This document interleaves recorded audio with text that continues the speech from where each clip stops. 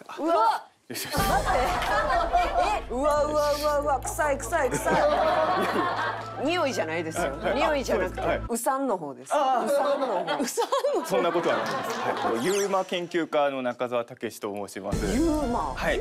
聞いたことはありますけど。 UMAわかりますか？あわかんないですね。 UMAっていうのはあの unidentified mysterious animal の略で未確認の動物ですね。未確認系か。そう。ちょっとすでにおりそう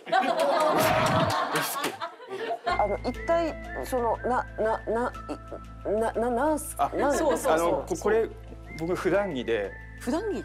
ある種のよ鎧じゃないんですけどあのこれを外すとですねあの本来の自分が出ちゃうというか。あ志村けんさんみたいなことですね。こうコントカツラかぶった方が恥ずかしくないっていう。まあそうですね。そうあんあんなお大物の方と一緒にしてあれなまあんです確けど。かに確かに。いやいいわしわしが間違えました。えユーマじゃない方が面白い。それも困るんですけどあのカッパみたいなの見たことあるんですよね。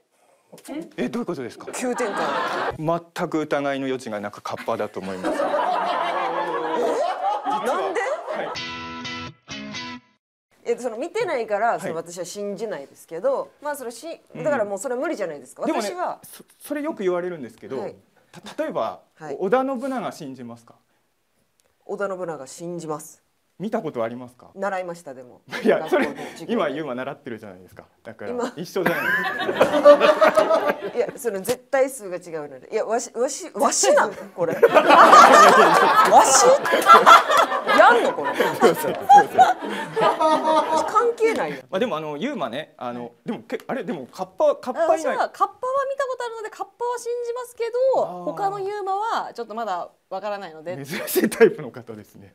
そうですか。らい嘲笑われるやそそんなことそんなことないんですそういうとけどころあるな。あの僕もよく誤解されるんですけどこういう活動してるとユーマ全部信じてるとかあのオカルト全部信じてるとか思うんですけどもちろんいるものもいないものもいると思っているので、うん。じゃあもう一個三つ目のと紹介させてください、さっきのカッパもそうなんですけれど、はい。なんか妖怪って創作上のものだと思ってる人が多いと思うんですけど時々本当に見る人がいるんですね。で、えー今回3つ目に紹介したいのも、えー、と妖怪として伝わっていたものが本当にいて撮影されたというお話です。えー岡山に実在するスネコスリすねこすりご存知ですか？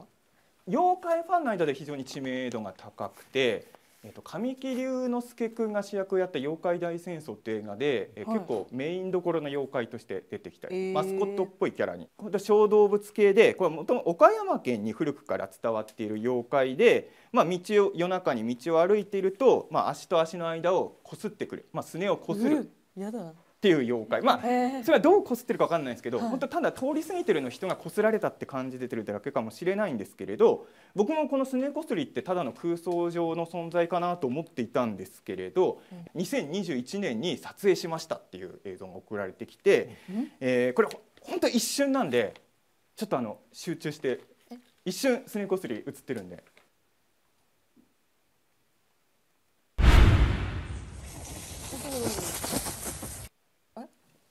先ほどのものが。今左から右に横切ったやつ。そうそうですあれですね。スローで見れます？あこれスローに。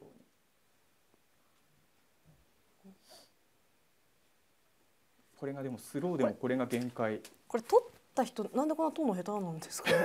ちょうど来た時になんか上行っちゃって。下手なのかな？まああのーこれねあの目撃者の方は何度も見ててで何度も撮影失敗してるらしいんですよ。ようやく成功してはいあこれ成功パターンなんですか？これは唯一撮影された映像で正体が何だかわからないんですけれど、まあその動きも素早いですしシルエット的に言うとぼ僕の知っているもので言うとスネコスリに一番近いんじゃないかなと思ってあ考えております。え、その野良猫的な？これでも猫ではないですよねシルエットが。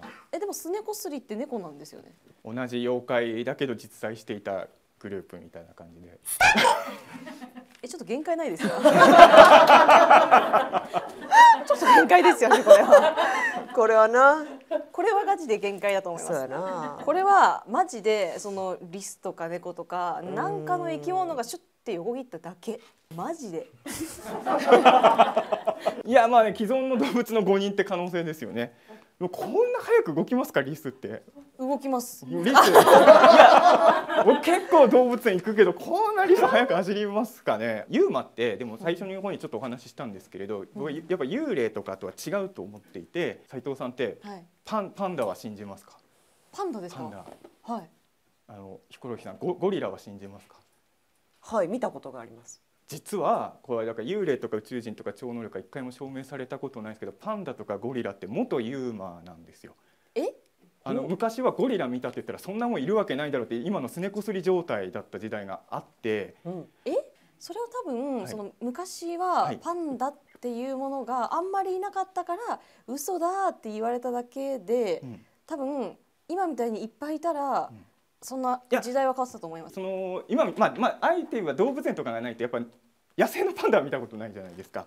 そういう感じでおそらくそのなかなか一般の人が見る機会ないとでテレビとかない時代だとやっぱなかなか信じてもらえない時代もあったんだと思うんですけれどで、まあ、そういったものの中にユーマっていうのは今でも僕はいるだこれも数十年後には今でいうパンダみたいになるんじゃないかなと。ああこれはすねこすりだっていう時代が来るってことですよね、今の話佐藤しおりさんだったらどんな感じで聞いてたと思います？佐藤しおりさんだったらですか、はい。はえー、ちっちゃくて可愛いとか。まあイメージな。えーこんなのいるんだみたいな、うん。知らなかった的な感じですよね、まあちょっとぐらいは「え本当ですか？もう」ぐらいのことはな。言うかもしれへんけど。あまあこんなわしらぐらいこんな感じ悪くはない 確実にそう。科学者の人とかと一緒になるとめちゃくちゃ言われるので。な何を言われるんですか？いやもうお前みたいなやつが日本文化をダメにするんだよ めっちゃ言われてる 言い過ぎ。他に聞きたいことはないですか？その見た目のこととかも多分もっと。えその朝起きてどのタイミングでその帽子をかぶるんですか、あでも家の中では撮ってます。あのあ家の中では撮ってるんですか？基本的に人と会うのが怖いからつけてるのでそ外出る時はつけてますけれど。えその動く待ち合わせ場所というのははい。一体どういう？手短に説明させていただきますと、はいすあのまあユーマもそうなんですけれど僕あの世の中の役に立つことをやろうみたいな感じで生きたくなくてですね。その自分なんてネッシーとかって正直いてもいなくても生活には関わりないけどそれに僕はこだわりたい人間なのであなたの人生に何も役に立つことしないですよっていう宣言としてですねその待ち合わせ場所が動くと役に立たなくていいんじゃないかなという気持ちで、はい、奥深系だ。やっております。すごい哲学者。あすみません。はい。警察となんか触れ合ったりみたいな。あこれこれがこれがですねあのー実は始めた当初はもう週3ペースで職質されてたんですよ。で。すよね。ところがもうね9年ぐらい東京では職質されてなくて。あじゃあなんか一個認められたんやそう中澤さん本当にありがとうございますありがとうございました。ありがとうございました